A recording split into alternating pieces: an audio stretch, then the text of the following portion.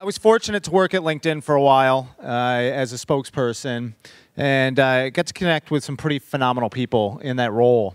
Uh, I remember the conversation I had with our next speaker about three and a half years ago. And literally, she was in New York flying to San Francisco, and I was in San Francisco flying to Michigan. And we had 30 minutes on the uh, plane or on the phone before we got on the plane. And it was one of those conversations, I know you all have had them before, where you feel like every just, everything just synced. Like this was a person you were meant to talk to at that moment. And I, I learned later, um, you know, how valuable that conversation was as we developed into friends and helped each other out. What was really cool is uh, I realized how big of a deal she was later, um, which was awesome. Uh, as you saw in the um, in the notes on her presentation here, she was named by Fast Company uh, the most connected woman in Silicon Valley. Um, what I think is kind of a misnomer on that is she's like one of the most connected people in Silicon Valley. And uh, she's also incredible. Um, she's going to share some of her stories about networking for opportunity. I'll let her go a little bit broader into that. But with no further ado, I'd like to welcome Ellen Levy to the stage. Please put your hands together.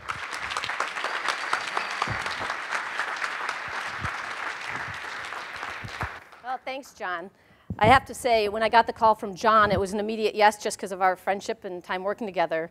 Uh, and also because I'd known Brad Felden, actually worked with him back in 1999 when we were both in venture capital. And then the clincher, actually, John may not know this, is when he told me that if I would come and talk about networking, he would secure Bob Metcalfe as my warm up act. so, uh, so, but it is fair to say that I've been thinking and been intrigued by the dynamics of social interactions and how they play into the business and workplace for a long time.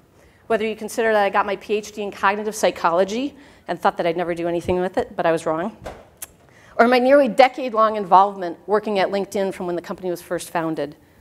But probably the single most formative experience that I've had in my background is something very different, and it shaped how I think about networks of people. And I thought I'd start by sharing that experience with you today.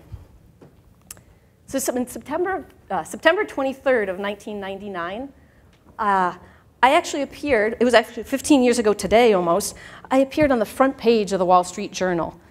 It's, uh, it was back when people actually read it in paper, and it was what I called the crazy person column, but everyone refers to as the A-cut.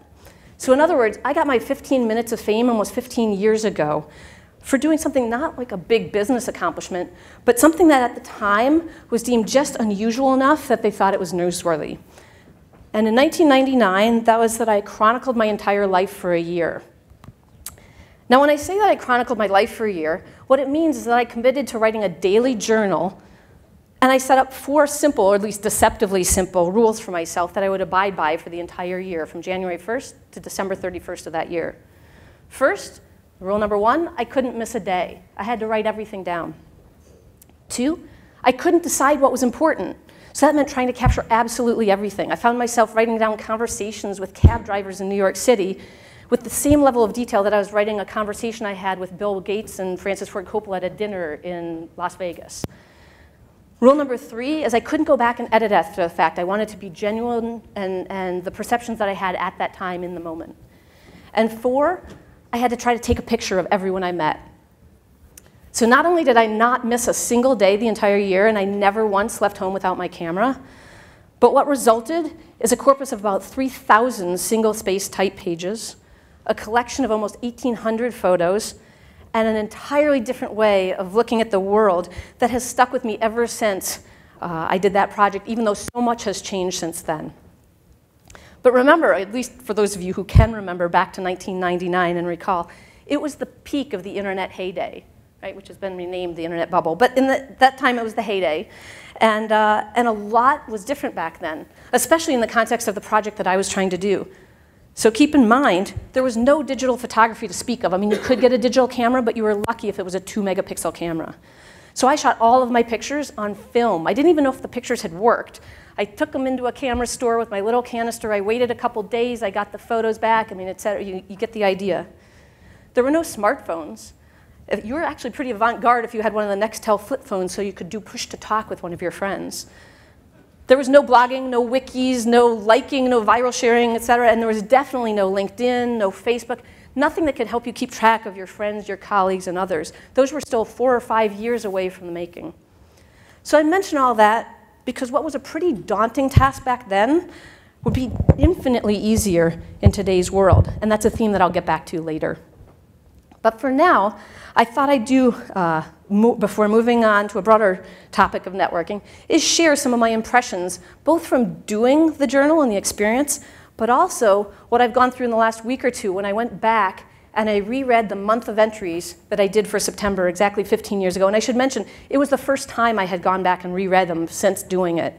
Um, and in fact, a lot of ways, it was like immersing myself in the experience all over again with a new mindset. So to add a bit of context, I should mention that during that time, I was an entrepreneur for the first nine months of that year, working at an ebook startup, think the Kindle, but 15 years ago.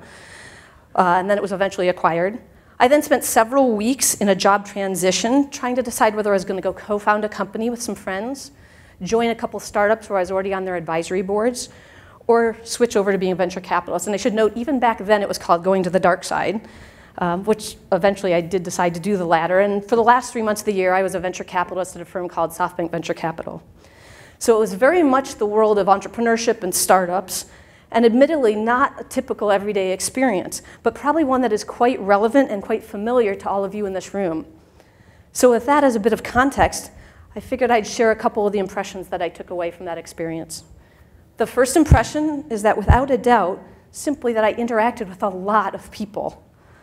When I did the count for the month of all the people that I had directly interacted with, and I defined that as either I met with them, I bumped into them in person, or I spoke with them on the phone, it turned out that that was 287 distinct people, or what we call uniques, right? Furthermore, when I counted the number of people that I was trying to keep track of, either by discussing or referencing them in the journal at some point during that month, that count turned out to be over 350 people. Long story short, in a lot of ways, my journal turned out to be a documentary of sorts about people who came and went from my life. In fact, I even noted back then that it felt a lot like I was trying to start to map the six degrees of separation of people. You know, give an example. I was constantly referencing that somebody I met, brother was a colleague of a friend who went to college with my sis, etc. Right? Like it was constantly this notation of how everybody was connected to the best of my ability. But back then, it's very clear that I felt like I was doing detective work, right? That I had discovered these secrets. Whereas in today's world, those are the sorts of insights that are at your fingertips if you look for them. But not only were there a ton of examples like that of how people were connected both in obvious and non-obvious ways, but there are also examples of how information could flow through those networks. For example, I documented how a startup I was helping co-found called the Dr. Spot Company went in to pitch the partners at Kleiner Perkins. After learning that they, Kleiner Perkins, were actively considering investment in another similar company that was likely to be competitive, so we were trying to be preemptive and get in there and talk. Not so novel, except for the fact that I can describe how we learned of their intentions. It was because one of my co founders had been at a friend's wedding in Monaco, of all places, and the uncle of the bride happened to be a venture capitalist who was also looking at that deal with Kleiner Perkins. So not only have I probably just reinforced each and every one of your suspicion that VCs do talk, but more importantly, the point I'm trying to make is that what used to be very serendipitous discovery of information is also now something that's become readily discoverable if you choose to look for it through social platforms and other technologies. In any event, the second impression that I had from the experience, it's that it took a lot of time and a lot of effort. And by that I mean both the process of actually interacting with people in genuine and meaningful ways, but also just the act of tracking all this information. In looking back, it was clear that being an entrepreneur and then a VC was an all consuming activity. My meals, my workout time, my social activities were all inextricably mixed with my work. Basically, there was little or no distinction between my work and my social life. Interestingly, looking back on it, it now appears much more that I was laying the foundation for many long-lasting relationships uh, that have impacted my life. Or said differently, connections that I would come to rely on in the future that I didn't even realize were going to be so important. And when I think of those interactions, it's not just about thinking of them as tactical actions I was taking to get some business need met, but that those relationships were in fact incredibly important. I just didn't know it. Just to give one example of a person, and again, there were many, Take the case of my then former colleague, a guy named Sean White. Right? And I don't mean the snowboarder Sean White, for those of you thinking that. Uh, I mean a fellow Stanford alum who had already been a colleague of mine First, when we both worked at a technology think tank in, in the Bay Area called Interval Research, and then when I had recruited him to be the CTO of the first startup that I was at. But in 1999, Sean had just gotten married and was thinking about stepping back and leaving being an entrepreneur and startup life to go and travel with his new wife for six months. But let me take you forward what happened since then. Four years later, I recruited him to be our technology in residence at the venture fund that I had just created, helped create and joined. Nine years later, he was actually the person who officiated my wedding. And if you fast forward 15 years to today, he's now one of my closest friends and an investor in his current startup. With respect to the tracking process, having just gotten a full sense back in 1999 of how hard it was to do manually over the course of the year of journaling, it's not hard to see why when something like LinkedIn came along, I got so excited from day one. And that was just one of the many propositions of LinkedIn. It's also why more recently I've gotten very excited about startups like Newsle. Actually, a show of hands. How many people know of the service Newsle, which most of you call Newsly, but it's actually Newsle? Anybody? right? It's a service that gives you information or news about people in your network. It gives you the information about what's going on without you having to do anything other than identify who matters to you and what you want to keep track of. It's also why I'm a fan of companies like a startup called Accompany, which should launch later this year, that's focused on providing a personal CRM solution that meets the demands of today's much more connected, much more information-rich world. But that's a bunch of other issues that we can talk about later if you like. Inevitably, at this point in the conversation, I almost always get some, actually a really thoughtful follow-up question, where people ask that, isn't it true the fact that these tools that we now have today that are automating so many of these processes actually make relationships less important? I'm being spoon-fed all the information. I'm taking away all the personal touch. It's just right there for everybody. Um, and in fact, what it means is that we're depersonalizing the situation and making relationships less important. And what I always say to that is that the answer is no, and in fact, quite the contrary. The way I look at it, the fact that everyone has access to these tools that reduce so much of the burden of tracking and discovering information, and even some that remind you when it would be nice to reach out to somebody. What's interesting is that those basically mean that actual relationships are what matter, not the information about the relationship. Let me see if I can make a point by doing a really simple example. For those of you who can remember when cell phones first became kind of part of everyday business use, do you remember what happened? Most people, especially senior executives, would only give their cell phone number out to the people in their inner circle, right? You could only give it to a couple people. So if you had my cell phone number, just the sheer act of you having it meant that we probably had a good relationship, right? Today, probably everyone and their mother could and probably does have your cell phone number. We stick it on business cards, it's everywhere all of a sudden, the way I think about it, the denominator got really big. Everybody can have that. It's what happens in the numerator. So in my analogy, think about it. Everyone can call my cell phone. It's what I do when I see your name pop up on the caller ID that defines whether the relationship's real and what it means to both sides. Okay? So moving to the last impression, and this was a particularly strong one. It's that sometimes the seemingly inconsequential turns out to be anything but especially when it comes to the people that you meet that could influence your career and your life, often in very unexpected ways. And with the takeaway being that it's investing time in relationships before you know exactly how valuable they'll be that's important. This is particularly worthwhile, and I'll pause on it for a moment, and I want to note this, because in today's world, you're often cutting this activity off your list. There's so much demand to be thinking about immediate ROI from every action you're taking. I want to know why you're sitting in this conference today. Why are you spending this hour here? Sometimes you have to start thinking about relationships as a series of long-term investments where any moment in time you can't quite tell how or why they'll pay off.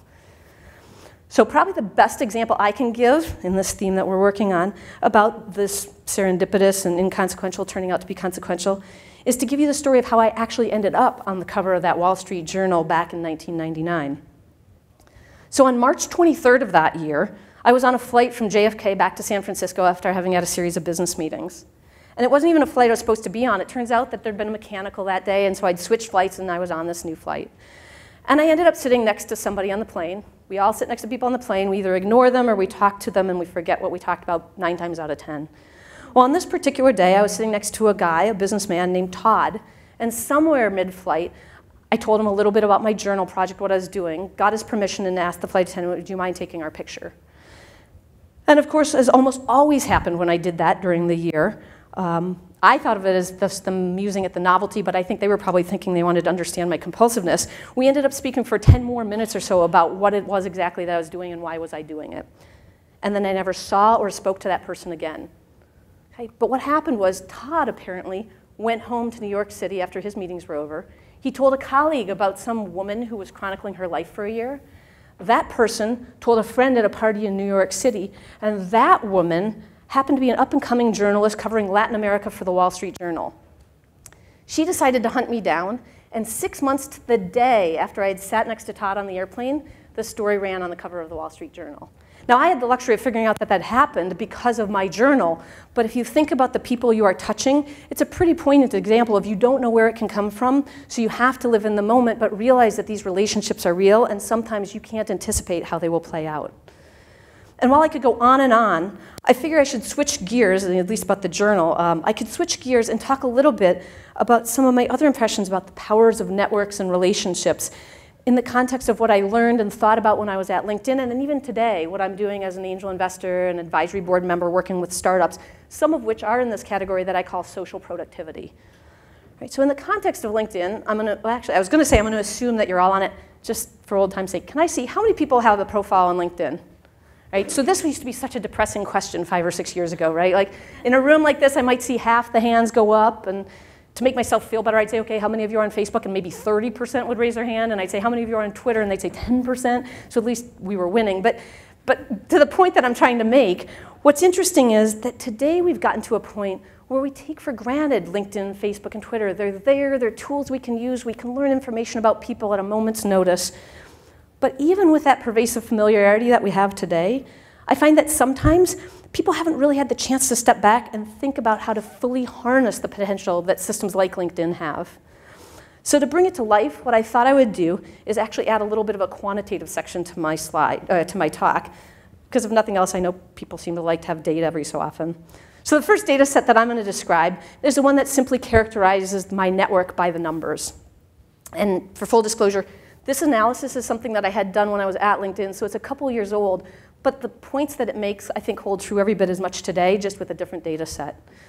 So the data scientists and I sat down and we asked a bunch of questions about my network and how to characterize it. And at the time we were doing that analysis, I was connected to 1,600 people. So that was my first degree network. And that in turn yielded 452,000 second degree connections. And that in turn yielded 15.5 million third degree connections. So think about it. Next time you ask somebody, do you know so and so? If they've switched to what I now call thinking in the third degree, it's an entirely different story and different answer.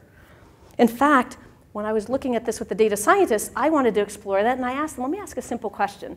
Let's just pretend, hypothetically, that I wanted to get to somebody at each of the Fortune 100 companies, anybody at the company. How many of those companies could I touch through my first degree, my second degree, my third degree? And what was amazing to us, and actually quite surprising, even for those of us who were living and breathing network theory at the time, was how much we were actually see that I had pretty comprehensive coverage just in my second degree. I'd always figured by the third degree, eh, sure, you got somebody everywhere.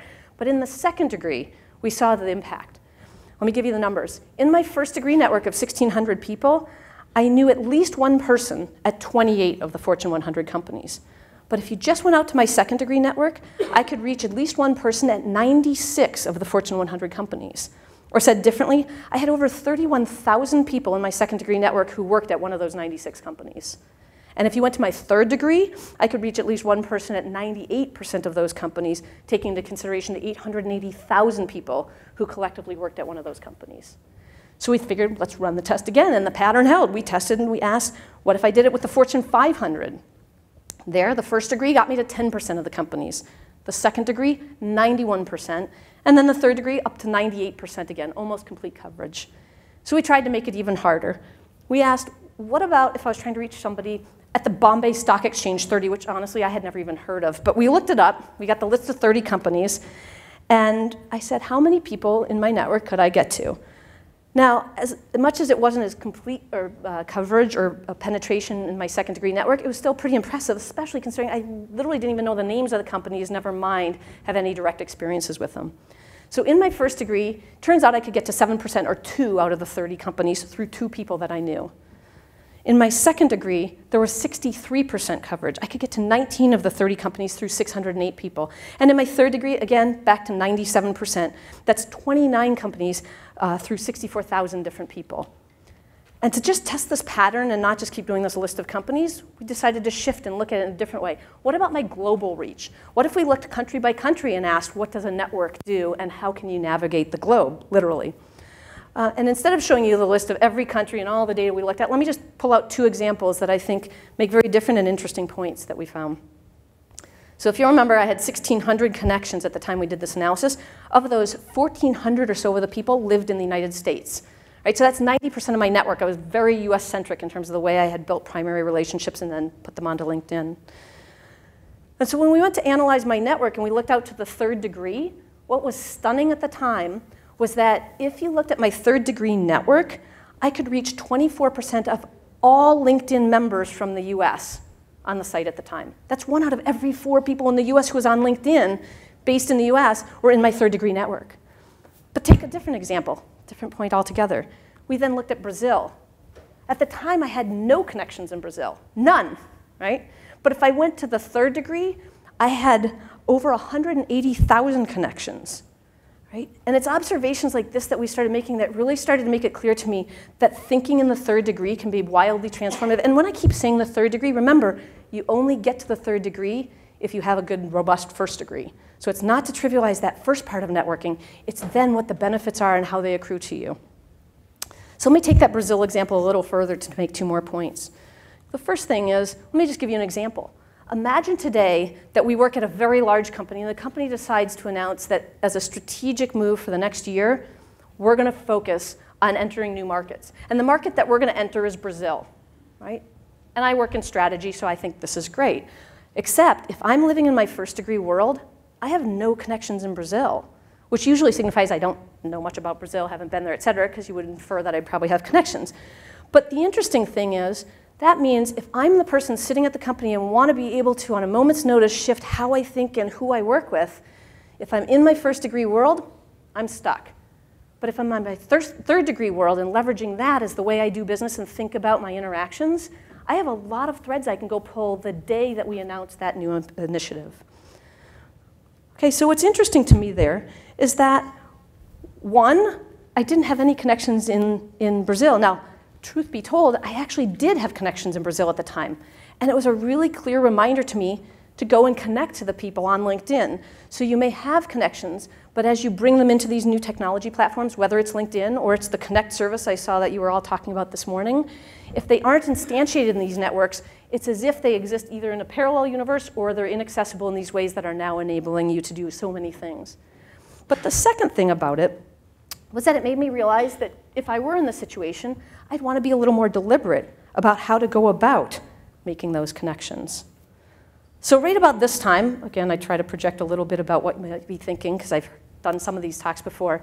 A lot of people say, yeah, that's all well and good, except for the fact you're assuming that we think the second and third degree are actually valuable.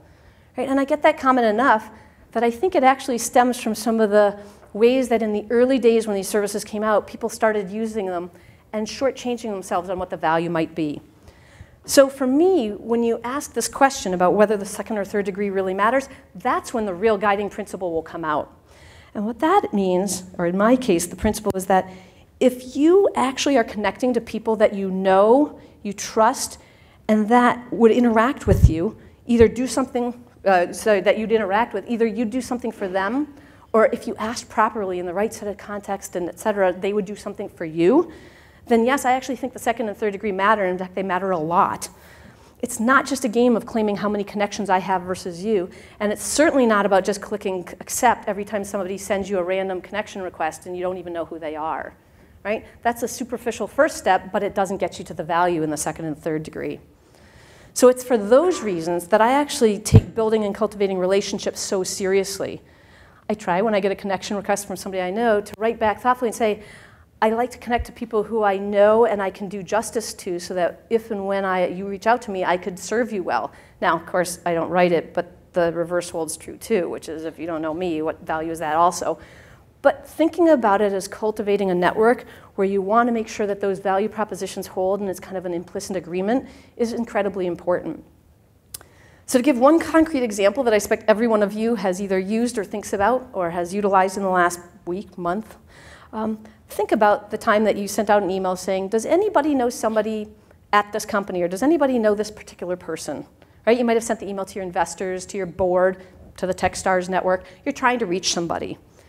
In a third degree world way of thinking about it, that question would read more like, do you know so this person, so and so? And if you don't, do you know anybody who could help me get to that person?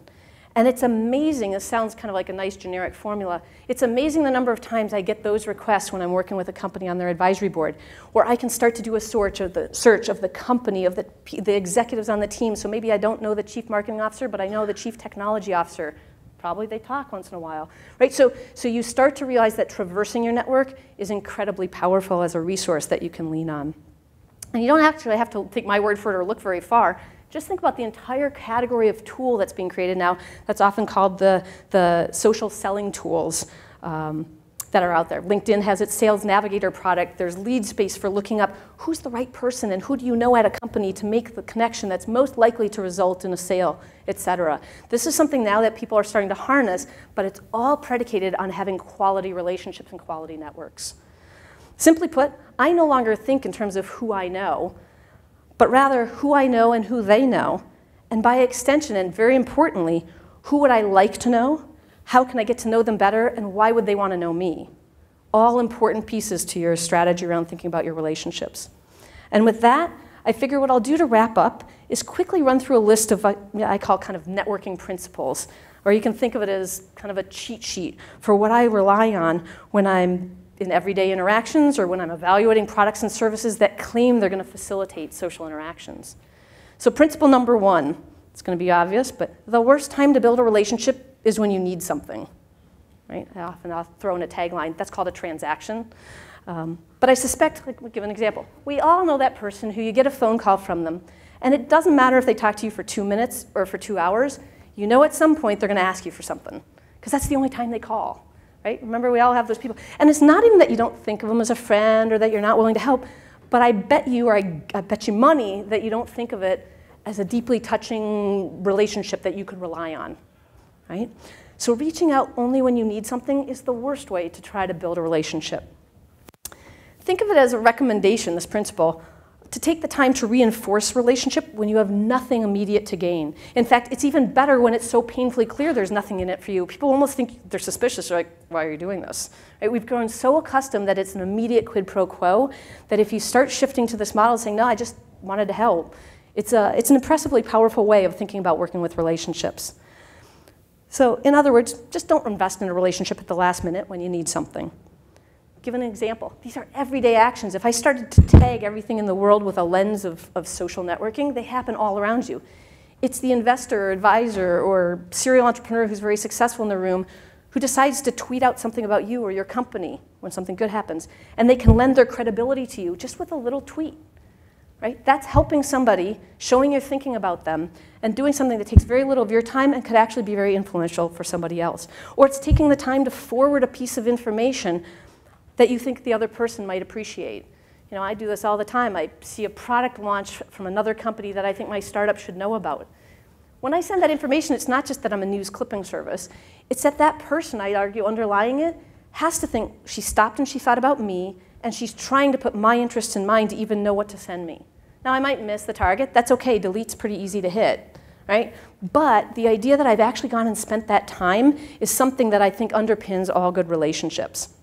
In fact, even in those emails, I take the time to write, by the way, absolutely not necessary to reply, just sent it along in case helpful, so that there's no obligation to do anything back. You just think I was doing it in case it was helpful.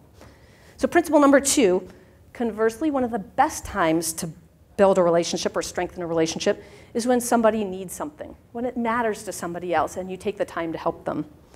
So from the journal, if you think back to 1999, this was never more apparent than when I was counting the number of people I had interactions with back in that month of September 15 years ago. And I realized that over 10% of all of my interactions that month involved primarily people looking for new jobs in the middle of a career change. Right? It's the time when you can make a massive impact on somebody else's life and show that you care about them. Right? There were some other people who were asking for introductions to VCs and to potential business partners, et cetera, but that job change piece is a really critical one. In fact, if you fast forward just a couple of years to when LinkedIn was started, it's not surprising that the first mechanism that primed the pump for the company, in fact, it primed it so much so that for years a lot of people would just call us a job site, was this notion of matching people, two people, one looking for a job and one looking for an employee, and letting a third person help facilitate that process. Right? If you think about it, it's a pretty simple situation. The two people are matched, and the third person is able to help, making a very meaningful impact on at least one, if not both, of the people they're helping. Right? One example of the way that you can constantly be helping your network, and to the extent that tools and services exist to make it as easy as possible for you, it's amazingly helpful and it doesn't take a lot to do. And that gets me to that third principle.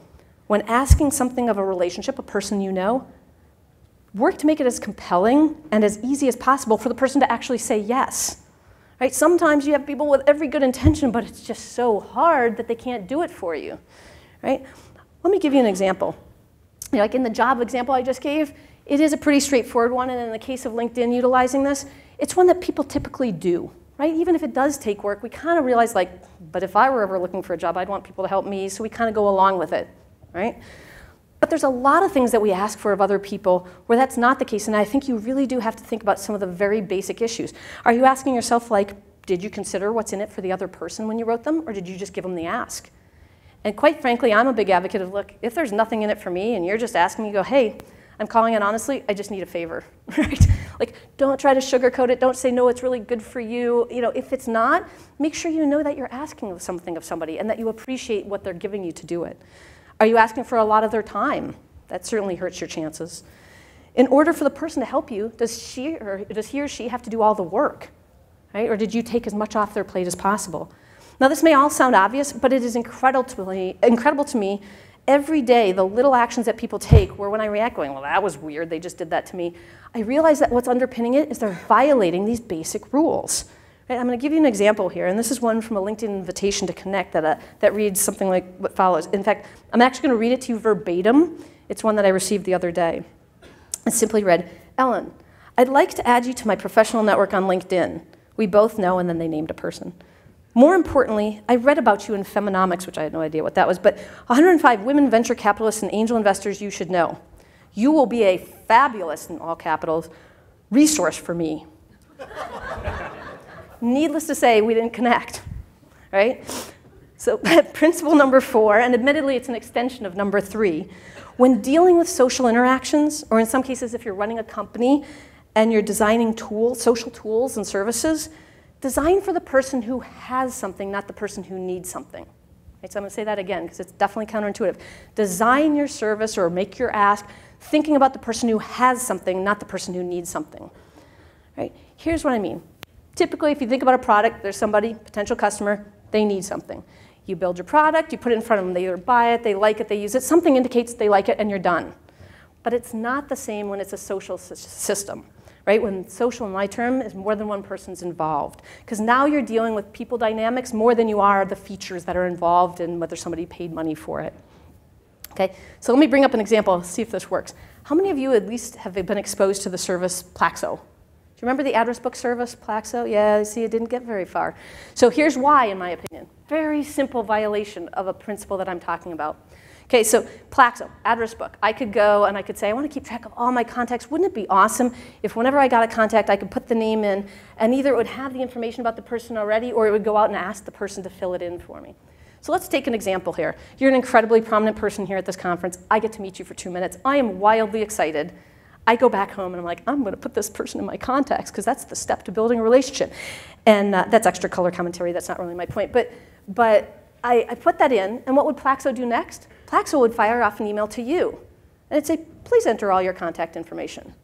Right? It's a perfect example of putting the burden on exactly the wrong person. You don't care if you've got, you know, that I've got your contact information. In fact, you probably wish I didn't if you've talked to 500 people that day. Right? So it's amazing how I can tell these truisms, they sound like little nice platitudes, but if you look at day-to-day -day interactions, they happen all around you. So let me give you an example of how it's done right. And again, I keep going to LinkedIn examples because I know them well, but you can think of your own along the way. Think of the LinkedIn request and introduction feature, right? So that's the feature that's definitely a social tool. Three people are involved. Let's call it, first person is person A. And there's the person who needs something, in this case, an introduction. Right? Person B is the one who has something to offer, in this case, a connection. And then that person's connection is to what I call person C. Pretty simple, right? You've all seen it before. Now remember, before LinkedIn, even if person B wanted to help, needed no convincing whatsoever, here's what he still had to do. He had to remember how to describe person A. He had to remember the context in which he discussed with person A what the introduction request was about, or sorry, why he was asking. And if it weren't enough, person B also had to remember what exactly it was that person A wanted to talk to person C about, right? So it was a lot to ask of person B when you weren't even trying to convince them to help you, you were just giving them the task at hand. Right? So with LinkedIn's introduction request, as you've no doubt noticed, I suspect most of you have used it, the only thing person B, the person who has something, needs to do is consider adding a quick note to person C saying why he thought it was worth sending along the information that person A had forwarded. Okay? In other words, the heavy lifting is done by the person who needs something. Not a hard problem to ask somebody to solve for. If you want something, you're hungry, you'll do it. It's me that you have to worry about if I'm the one who's just trying to lend my, my services to that person. So while the system was, in LinkedIn's case, by design, tuned to make it as frictionless, easy, and hopefully sometimes rewarding for the person who had something to contribute. Quite simply, I think of it as enabling social capital to flow in the right direction instead of trying to push it up a hill. And the last principle, principle number five, and this one isn't really so much a principle as just an observation of where we are today. It's that up until recently, if you if you were someone who is taking advantage of all the tools and services that I describe or that are put at your disposal through Techstars, et cetera, I would have said that you were putting yourself at a distinct advantage. Now, with the one caveat, you'd have to be using them thoughtfully. It's not just having the tools, but using them thoughtfully. But in a world that's now gotten more and more connected and more and more enabled through these technologies, tapping the potential in your network is no longer just advantageous. I'd argue that it's becoming imperative. We're now at a point where I think it's fair to say that if you aren't thoughtfully engaging your network in ways like those I've been describing, you're going to be at a distinct disadvantage. I don't think there's going to be much more time before you can walk in a room and have an excuse for why you don't know about me before you sit down to talk to me. In some cases, you've already hit that point, but it's coming soon for the masses. Right, so to wrap up this talk, what I, you know, and hopefully leave a couple minutes for some Q&A, I saved two messages for the end because I think of them more as like overarching universal truths that have held constant through all of my explorations and these experiences I've been talking about. And the first one is that when all is said and done, it comes down to time. Right? It's the one resource that we can't make more of, at least not yet. Right? That just means that how you allocate your time and to whom becomes incredibly important. And often when I say that, a lot of people look like, okay, great, yes, time management, it's a skill I should learn, et cetera. That's not what I mean at all. Like I'm talking about something very different. In the context of relationships, I'd argue that underlying most interactions is the giving and taking of time. And that that's what defines relationships, and more importantly, the value you place on the relationship. For example, simple little one that I can give you now. Think back 15 years ago. I remember marveling at the fact that somebody remembered my birthday and put a physical birthday card in the mail for me. That doesn't happen anymore. But even when I get a bunch of posts on my Facebook wall, even then, I'm intrigued and impressed and thought, uh, thinking about it because I know if just for a couple seconds, it meant that somebody on the other end stopped and thought about me and then went back about their day. I will also tell you that when I get that batch of emails on my birthday at 12:01 a.m., I don't think anything of them. Right? That gener- those are the ones that I know were generated by some automated service, and I don't even know if you know that you sent me the thing. Right? To take the LinkedIn example, so I don't only give positive examples on LinkedIn, Think about the LinkedIn connection request. You know, the, the, email that I think some of you have seen that says, I'd like to connect with you on LinkedIn, and it says nothing more, right? I'm going to bet again, bet some money here, that every time you receive one of those, your first thought is not, wow, isn't that awesome? This person thought to reach out to me. If you're like me, my first thought is, does this person even know they sent me this, or did LinkedIn just get a hold of their address book? Right? It's about the intentionality and the fact that you took time to think about me, and in better cases, you thought about me and what my interests are, not what your interests are. Okay? The second key message, and it's going to be a short one, but I will tell you it's a little more philosophical, is it's about approaching the experience we're talking about, the experience while you're in it, and appreciating the time you have with the people that you're in it with. So back in 1999, the person that I interacted with more than any other single person that entire year was a guy named Jim Sachs. He was the founder and CEO of the, of the startup that I told you I worked at, that ebook company called Softbook Press that was ultimately acquired by Gemstar.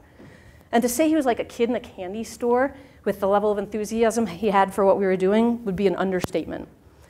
So I mentioned Jim because shortly after Softbook was acquired, and Jim was a newly minted millionaire many, many times over, he was diagnosed with non Hodgkin's lymphoma and died less than two years later.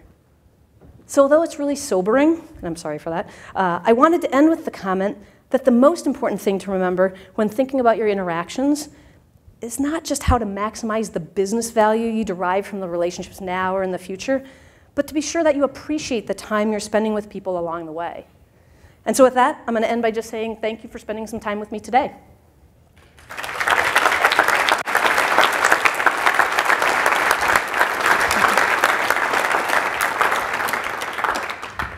All right, thank you, Ellen. Uh, I'm going to save you from yourself because we're going to get into Q and A, and you're going to be uh, on stage for a while. All right. Ellen is going to uh, hang out in the hallway for 10 minutes or so. Yeah, that'd be good. Uh, she's got to run to the uh, airport and literally have a cab out front uh, set to take care of her. So if you want to carry the conversation, one, she told you how to connect with her going forward, gave you the formula. Uh, two, she'll be out in the hallway for a little bit. So one more time, please put your hands together for Ellen Levy. Thank you.